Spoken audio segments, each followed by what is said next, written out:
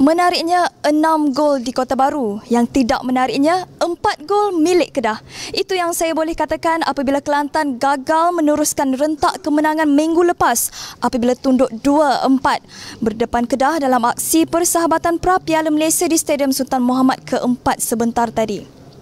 Walau bagaimanapun, kekalahan tersebut tidak memberi tekanan kepada Kelantan memandangkan perlawanan sebentar tadi hanyalah perlawanan persahabatan.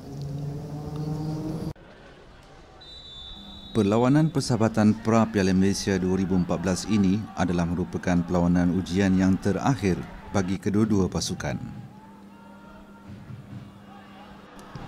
Kedah memperolehi gol pertama mereka hasil daripada rembatan kencang Billy Mehmet di dalam kotak penalti yang menewaskan Syarizan pada minit yang ke-12. Jaringan oleh penyerang Kedah tersebut kekal sebagai gol tunggal di separuh masa yang pertama.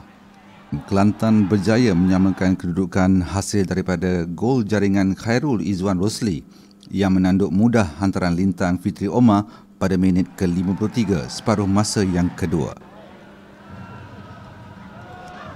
Walau bagaimanapun, kedudukan jaringan tidak kekal lama apabila rembatan Billy Mehmet sekali lagi menerjah masuk gawang Kelantan pada minit ke-61.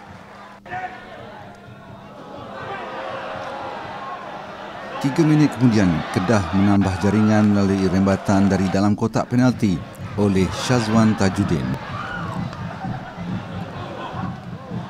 Pemain muda Kelantan, Zaimi Matno, menolak masuk mudah bola yang ditampan oleh penjaga gol Kedah hasil rembatan awal Francis Fokido untuk gol kedua Kelantan.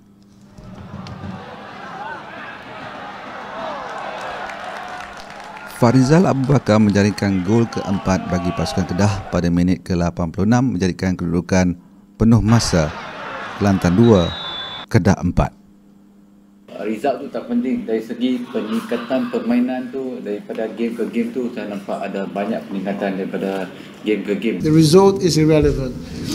What is important for us, the team entered the game very tired and they played 90 minutes, most of them. Perlawanan sebentar tadi merupakan persiapan terakhir untuk Kelantan bagi berdepan JDT di Stadium Lakin pada 13 Ogos ini. Mia Ibrahim melaporkan dari Stadium Sultan Muhammad keempat untuk TRW TV.